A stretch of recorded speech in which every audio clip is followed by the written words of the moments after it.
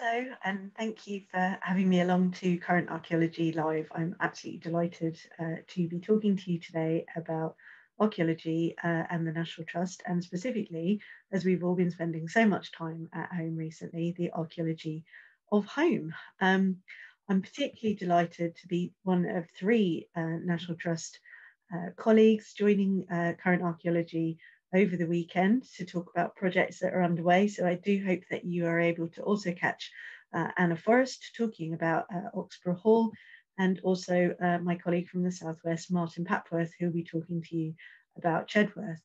And both Martin and Anna's uh, talks provide a useful way of introducing uh, some of the topics that I'm hoping to cover in my short talk today, which is about um, both artifacts that are found underneath uh, floorboards in houses and also artifacts um, recorded during excavation, which help us to understand more about the use of spaces, the development of spaces, and also the decorative elements that go towards making up uh, those spaces. So without further ado, um, I would like to talk about underfloor uh, archaeology. And we're starting with a quote here from one of my colleagues in the Trust, um, Mark Newman, um, where he says a National Trust archaeologist is almost as likely to be found unpeeling and recording layers of wallpaper or plaster as they are layers of soil, or to be researching World War II radar stations rather than Roman villas. And we have a long and, and quite proud history of searching under the floorboards. So that, as I mentioned, is where I would like to start my talk today. So we're beginning um, looking under the floorboards uh, at Knowle in Kent. So one of the biggest projects that the National Trust has undertaken over the last uh, 10 years or so, which was the Inspired by Knowle project, a, a 20 million pound heritage lottery funded project, which uh, had a whole range of different aspects to it archaeologically, but particularly included work to um, the interior of the property and the showrooms, um, and some new spaces that were opened as part of the property, uh, part of the project, particularly uh, within the attics. So here we see an aerial view of Knowle in Kent, one of the largest uh, country houses in the UK. And we're going to be talking a little bit about some of the finds from under the floorboards that were recovered um, by our uh, archaeology volunteer team at Knowle and also by members of Museum of London Archaeology.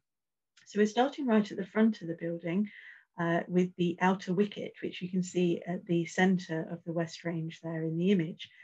Now, this was a, a lived space during the 20th century. It was occupied by uh, Eddy Sackville West, who was a member of the family and who lived in rooms above the main entrance to Knowle.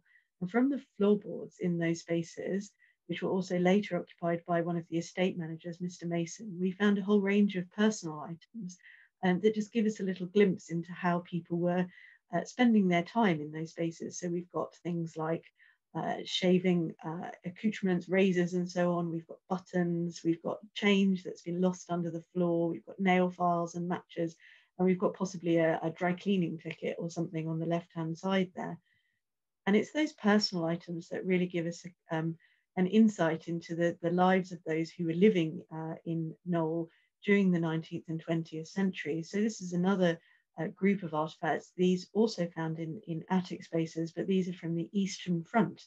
Uh, so spaces that were occupied by um, servants. And you can see here some of the artifacts retrieved from under the floorboards in those spaces. So we have uh, not just any uh, cold cream lid here, we have a superior cold cream. We have again buttons and beads and uh, coins. That's actually an Irish coin in the top picture and very personal items like hairpins as well coming from under the floorboards in those spaces.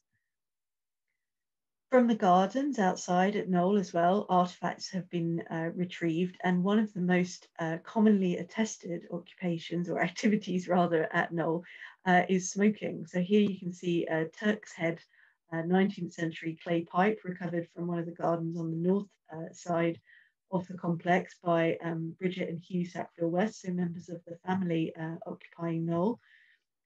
And again, from within the attic spaces, uh, a really fine um, 18th century clay pipe and deliberately deposited, we think, um, under a small flight of stairs, a short flight of stairs in the eastern attics.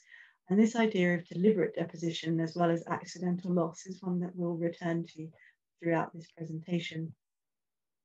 So as I said, we found a lot of evidence for people smoking uh, at Knowle, everything from uh, World War One period cigarette papers that you can see at the top of the screen there, 1960s and 1950s cigarette packets, sometimes left with a with a date and a name uh, on them.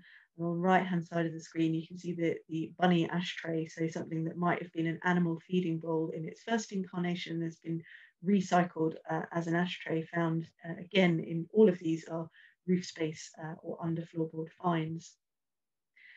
And we get an, an, indication of some of the activities that might have been taking place uh, in those roof spaces. So potentially items that have been left not only by the family, not only by the um, the occupants at Knowle, but also by people who were working at Knowle, um, potentially visiting as working as workmen or um, maybe living on the property themselves. So this is from the kitchen uh, space. And as you can see, is an uncensored uh, biography of Marilyn Monroe, which clearly someone finished reading while they were working uh, up in the space and then left uh, for us to find in the future.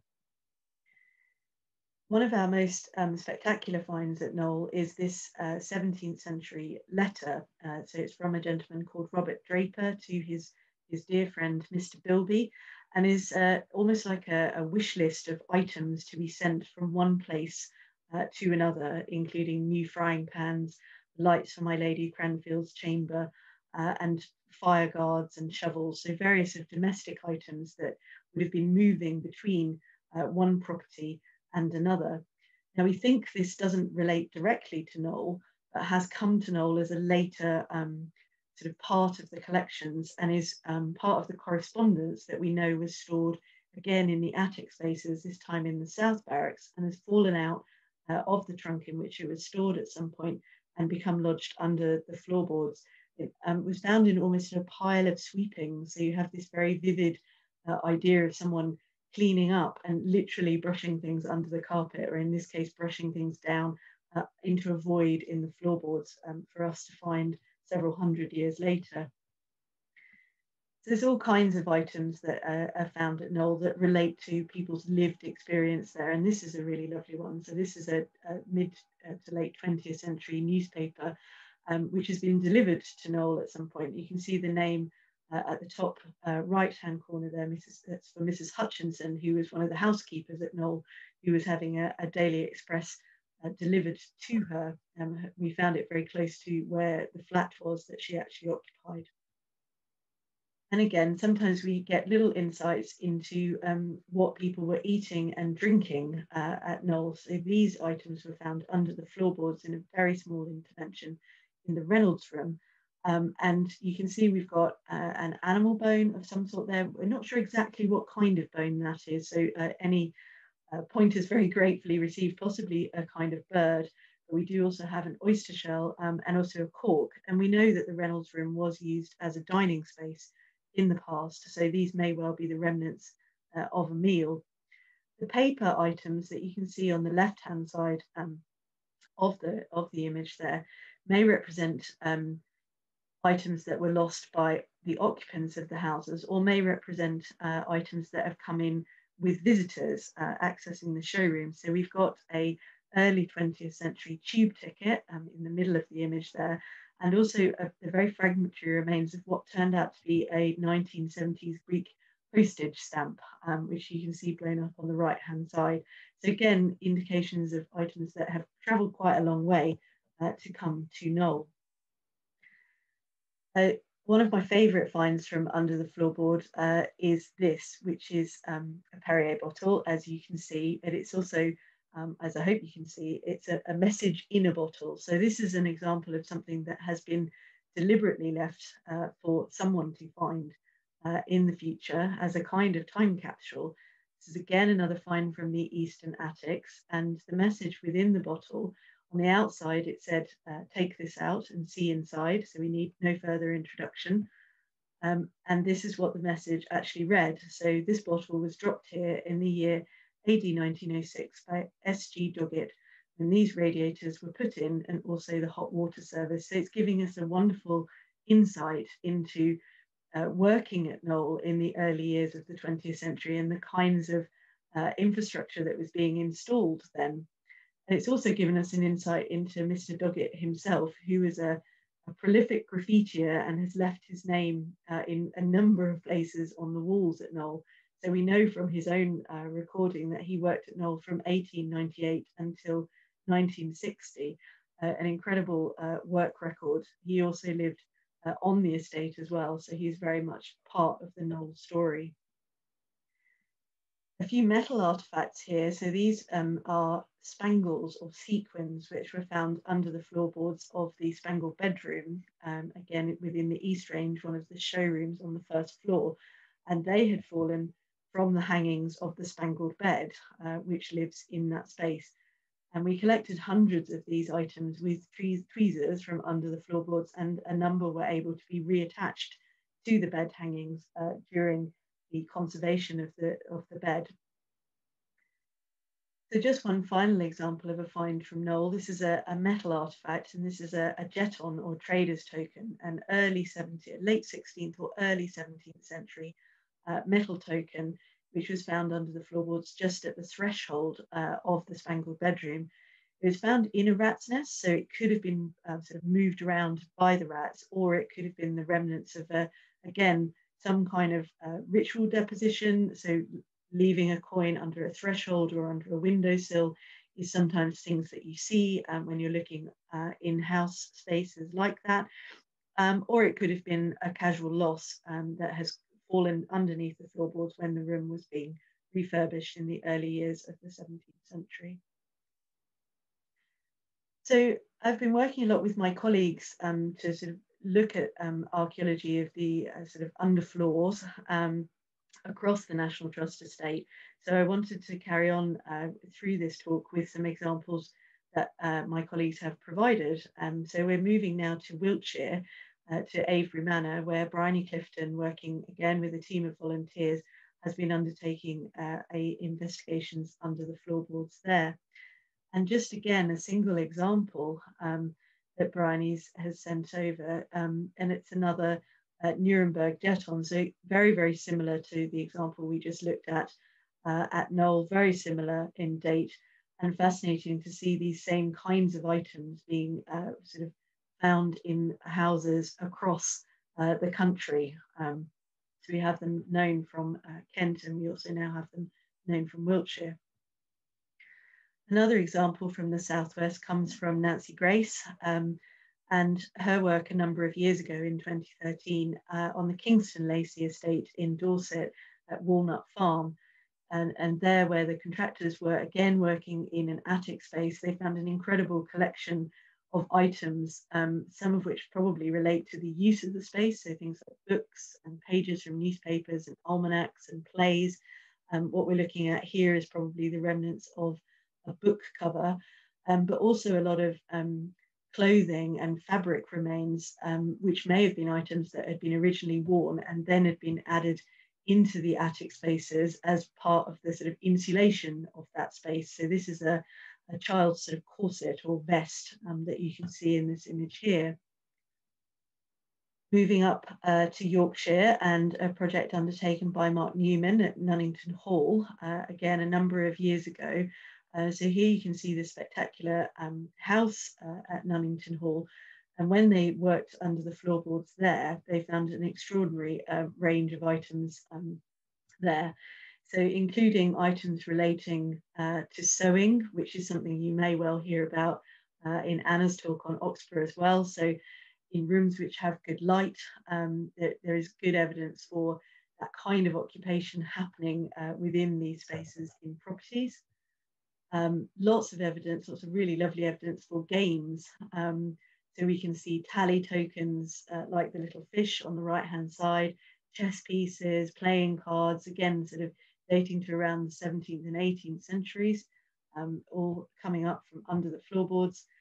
And then really uh, unusual and spectacular items like this one, um, which you see here, Mark holding in the image. This is a, a coded notebook um, possibly relating to, to Jacobean conspiracy, uh, Jacobite, pardon me, conspiracies, um, and deliberately hidden uh, under the floorboards. Um, so again, as well as accidental loss, deliberate deposition of, of things that people are hoping will be found in the future. We also have occasional examples of things that have found their way under the floorboards because people are trying to hide them and they do not want them uh, to be found. Moving uh, to Wales, um, and I'm very grateful to Claudine Gerard and Catherine Campbell uh, from uh, Newton House in Wales, who have been letting me know about some wonderful uh, artifacts, again retrieved from under the floorboards, um, which were actually part of a project that was underway during the 1990s at this um, spectacular 18th century house, um, which has its origins in the in the 17th century. And from here, we start to, uh, as well as all the other amazing things they found, what I've picked out to quickly look at today are some of the items that show us about the decoration of the house uh, during time or over um, a period of time. So this is a fragment of uh, mid 18th century wallpaper um, that has been recovered from, uh, again, under the floorboards. And this is a, yet another um, part of uh, a wallpaper sample, in this case, a mid 19th century wallpaper, but is actually echoing an 18th century design. So we can see this sort of idea of changing fashions and uh, changing rooms, if you like, um, reflected in the under floorboards finds. So for the last part of this talk, I wanted to move on to looking at um, excavated items um, and maybe the sorts of things that are more traditionally associated with uh, archaeological work, so artifacts that are coming from uh, digging uh, and below ground deposits as opposed to below floorboards deposits. Although you could argue that looking below a floorboard is just excavating inside, um, so it tends to be somewhat warmer and drier unless you're doing it in the middle of winter uh, in a historic house with no heating, in which case it's quite cold. Uh, so these are a, a, really fascinating group of mid 17th century artifacts excavated by Gary Marshall again in the 1990s at Chastleton House in Oxfordshire um, and represent a really significant hoard of glass vessels, mainly glass vessels, and a, a whole bellarmine that you can see in the centre there um, all buried under the uh, floor of the basement at Chastleton. Um, they're not all broken, some of them are broken, they're not all broken. So uh, it's interesting to think about why uh, these artifacts are here and why they've all been deposited together and they all seem to have sort of gone out of use at, at a single time. The last couple of sites um, that I wanted to look at today are, are sites that are closer to home um, for me. So um, just stopping in at Scotney Castle in Kent, which is obviously famous for the uh, late 14th century um, castle that is constructed, parts of which remain today, which you can see in the image there. In the foreground, however, is the, the, the second of the islands um, that make up the, the Scotney complex. And it was on um, the, the, foreground island where we have evidence um, for an earlier um, iteration of the Scotney Castle uh, complex, developed during the um, earlier years of the 14th century and pushing back um, from time through that.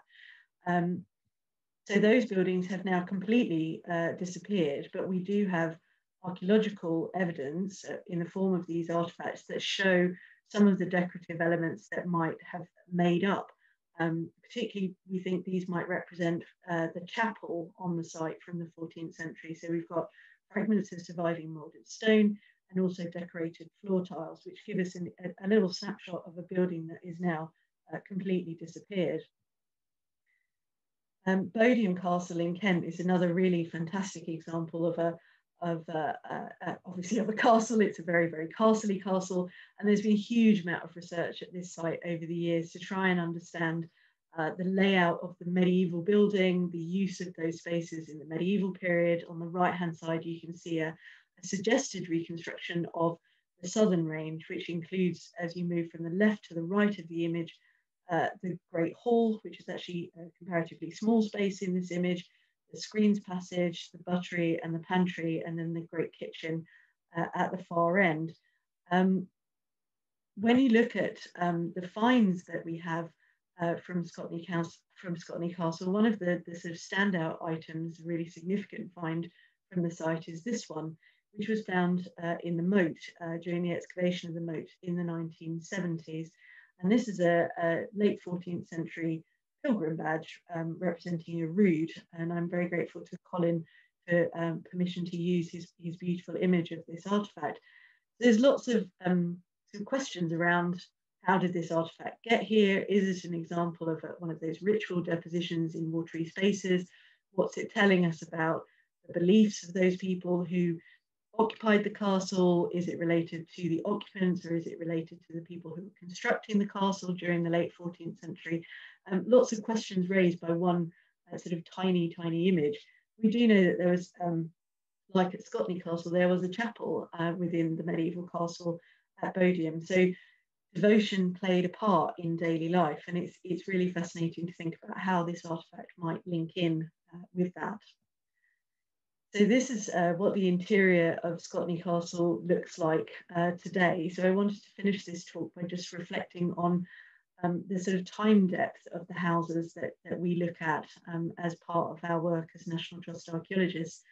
Um, Scotney Castle, for example, is very much uh, a shell um, as we see it today. So none of the uh, roofs survive of the main uh, sort of ranges, and, and, it does require a certain amount of imagination to, to people the space and to kind of recreate uh, the medieval um, occupation within uh, this space. But of course, the, the medieval occupation of this space is hundreds and hundreds of years ago.